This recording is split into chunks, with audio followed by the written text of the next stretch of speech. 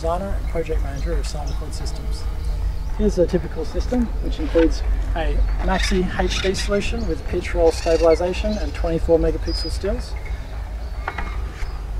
Landscape digital SLR, allowing for high resolution photogrammetry.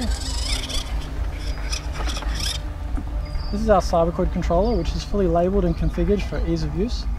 It has throttle and yaw on the left, pitch and roll on the right, conventional mode 2, camera tilt on the slider there, camera shutter and video mode, position hold return home, camera zoom in and out, video select for thermal and optical, and carefree mode. We also have a roll trim for the camera and the voice feedback volume. Power management system, which includes four batteries and two chargers, so that you can charge while operating and fly nearly continuously.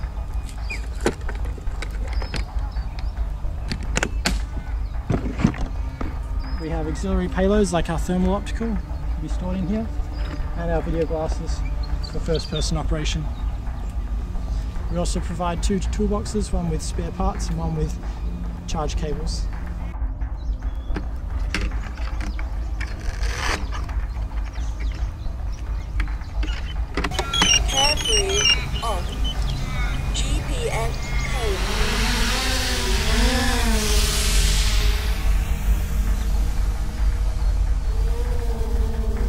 Cyber quad disarmed.